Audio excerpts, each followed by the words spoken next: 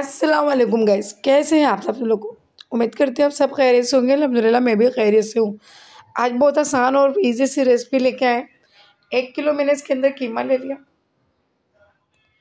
छोटी छोटी प्याज की घंटी ले ली, चार सही, अदरक ले ली और हरी मिर्च ले ली। हरा धनिया और पुदीना दोनों मिक्स करके ले लिया। जी, ये जो छोटी छोटी घंटी थी, इसको हम पीस लेंगे। चॉप नहीं करेंगे, इसको पूरा पीस लेंगे हम।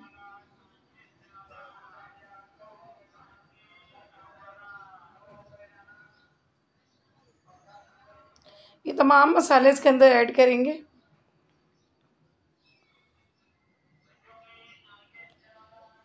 चाट मसाला, नमक, गरम मसाला और कुचला हुआ पिसा हुआ धनी, कुचल के धनिया रखा है मैंने दो स्पून। बाकी सब चीज़ें एक एक स्पून है। लाल मिर्च, कुटी हुई मिर्च, ज़ीरा पाउडर और अदरक लहसुन का पेस्ट। ये तमाम चीज़ें हम इसके अंदर ऐड कर लेंगे।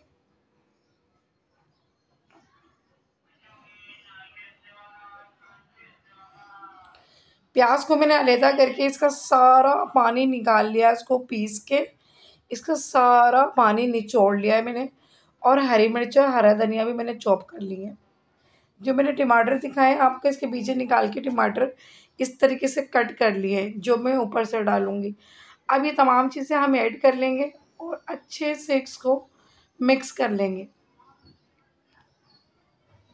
बहुत अच्छे से इसको मिक्स करेंगे ताकि ये एक जान हो जाए और मसाला सब कीमे के अंदर हल हो जाए। ये मैं बता दूँ, प्याज को मैंने अच्छे से पीस लिया। चॉप इतनी नहीं करिएगी, थोड़ी मोटी सही है।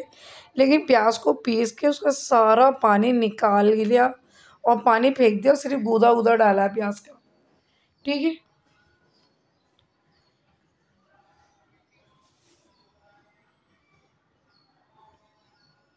ये देखिए, अच्छे से मैं इसको पीस, मिक्स कर लूँगी।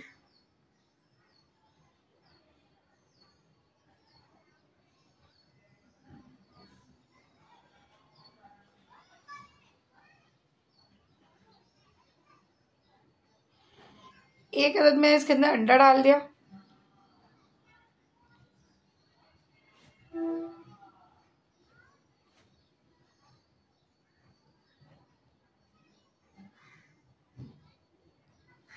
अच्छा इसमें अनारदाने के बीज डलते हैं, लेकिन वो मैं बीज मेरे घर में खाए ही नहीं जाते हैं सो वो मैंने ऐड नहीं करे। ये आटा ले लिया।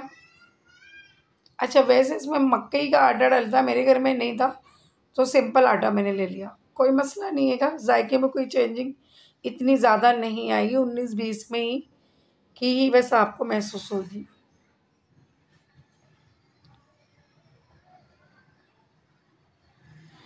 ये सब कुछ मिक्स होने के बाद टमाटर मैंने बारीक बारीक चॉप कर लिए थे, और इसके बीजे मैंने फेंक लिए थे। टमाटर ज़्यादा जैसे नरम नहीं लेगा थोड़ा सख्त आप सही वो भी अच्छे से मैं पीस, इसको मिक्स कर लूँगी।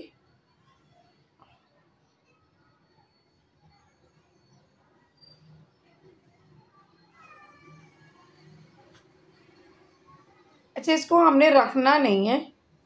जैसे कि और मसाले हम रख देते क्योंकि प्याज भी है इसमें, टमाटर भी है तो इसको मैंने रखना नहीं है। और मैं इसको हाथ के हाथ कबाब बना के तलूँगी, ठीक है?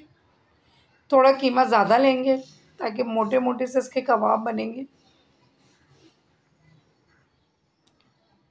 अच्छा ये बिल्कुल गोल वाकई में नहीं होगा जो आप बोलो बिल्कुल गोल हो जाए, लेकिन थोड़े ये कबाब बड़े बड़े बनेंगे, ठीक है?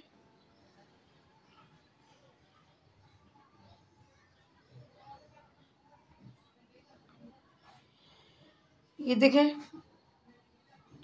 आपके सामने भी मैं तलने लगी हूँ। तब हम कबाब हम यूँ ही डालेंगे और यूँ ही तल लेंगे सब।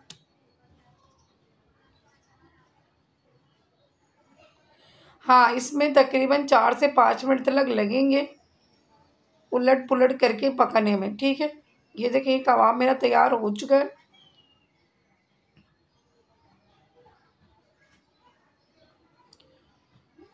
चिपली कबाब बन के हमारे तैयार हो चुके हैं तकरीबन।